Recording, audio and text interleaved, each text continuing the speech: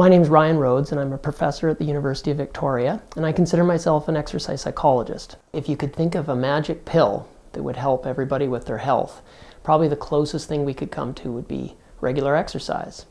Um, it's associated with the reduction of at least 25 chronic diseases, including all of our major killers.